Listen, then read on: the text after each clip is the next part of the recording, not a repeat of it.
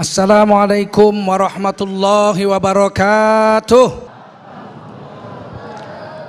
Hamdan wa syukran lillah wa salatan wa salaman ala rasulillah wa ala alihi wa sahbihi wa mawalah. Allahumma salli ala Sayyidina Muhammadin wa ala alihi wa sahbihi ajma'in. Para pemirsa TV One di mana pun anda berada, bapak-bapak, ibu-ibu, saudara-saudari sekalian yang dimuliakan Allah Subhanahu Wa Taala, marilah terlebih dahulu sebelum acara ini kita mulai kita berdoa.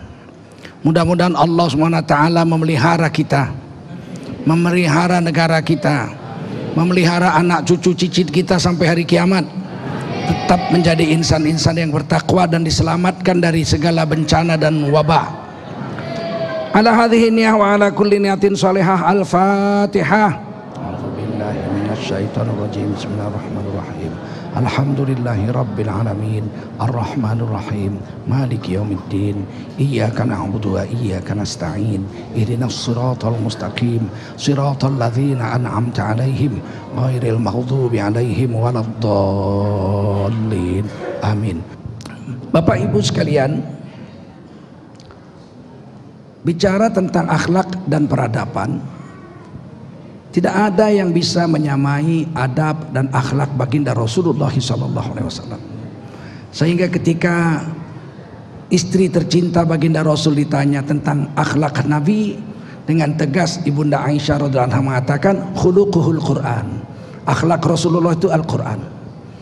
Jadi kalau kita baca semua tentang kebaikan-kebaikan yang ada di Quran, maka itulah akhlaknya baginda Rasulullah sallallahu alaihi wasallam dan Allah memujinya wa innaka ala khuluqin azim. Sesungguhnya engkau hai Nabi Muhammad akhlakmu itu sangat agung bersangatan agungnya.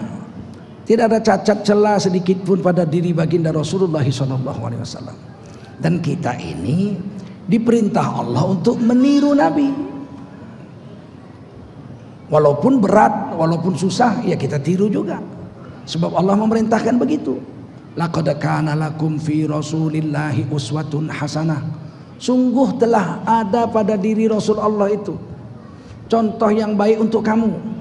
Jadi untuk kita Bagaimana cara makan, bagaimana cara minum, bagaimana cara tidur, bagaimana cara berjalan, bagaimana cara naik kendaraan, bagaimana turun dari kendaraan, bagaimana masuk WC, bagaimana keluar WC, bagaimana bercampur dengan istri sebelumnya, bagaimana setelah bercampur dengan istri, bagaimana cara berpakaian, bagaimana cara sholat, bagaimana cara berzikir, bagaimana cara baca Quran, bagaimana cara bayar zakat, bagaimana cara umroh, bagaimana cara haji, baik yang ibadah seperti sholat dan lain-lain, baik yang pergaulan sehari-hari, muamalat, utang piutang, pinjam meminjam, gade menggade, bagaimana nikah, bagaimana talak, kalau perlu cerai, bagaimana caranya talak, kalau menyesal mau rujuk, bagaimana caranya rujuk, bagaimana menghukum orang yang bersalah, harus ada bukti, ada saksi, kemudian dihukum dan sebagainya dan sebagainya dan sebagainya.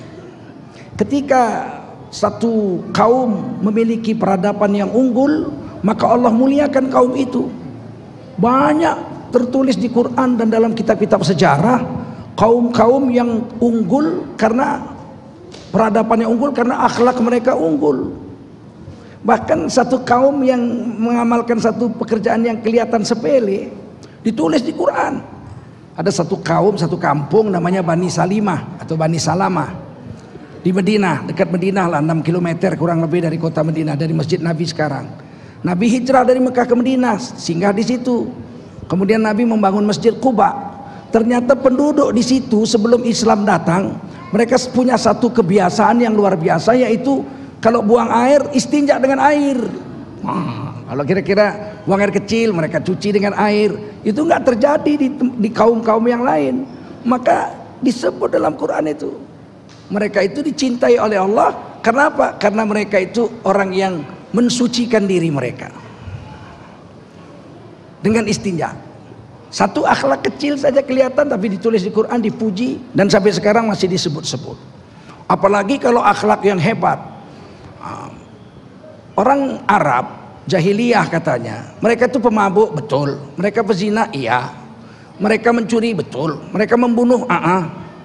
Tapi ada satu keunggulan akhlak orang Arab Quraisy waktu itu, mereka tidak berdusta. Nah, itu satu kelebihan. Sehingga kepada ontanya saja mereka tidak mau berdusta.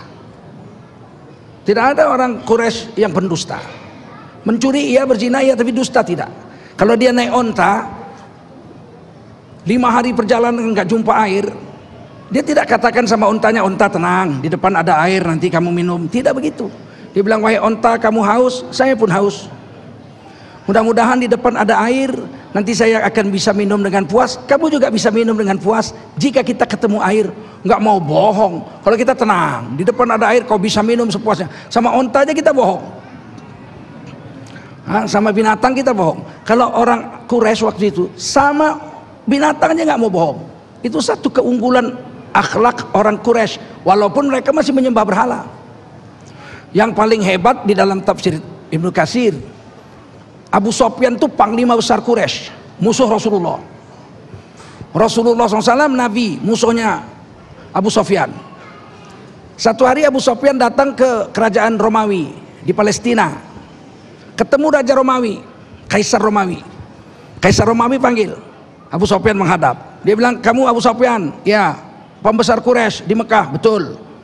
Saya mendengar di negerimu ada orang mendakwa dirinya sebagai nabi. Oh ya betul namanya Muhammad, mengaku nabi. Bagaimana menurut kamu keadaan dia? Wah, dia orang terhormat. Dari keturunan orang terhormat, padahal musuh besar itu orang terhormat dari keturunan orang terhormat.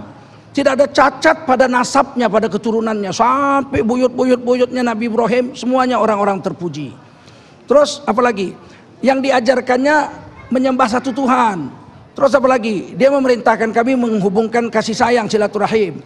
Terus melarang kami memakan bangkai, melarang kami melakukan perbuatan-perbuatan tercela. Loh, bagus dong kalau begitu. Ya yang dia bikin bagus, tapi kami nggak mau. Apa nggak maunya? Baik, Tuhan Yai. kami 360. Alhamdulillah di negara kita tidak ada undang-undang yang membolehkan perzinahan, yang membolehkan perjudian, yang membolehkan pelacuran, uh, mabuk, nggak ada, nggak boleh. Memang di negara kita nggak ada. Kalaupun ada berarti ada terjadi kong kali kong atau penyelewengan.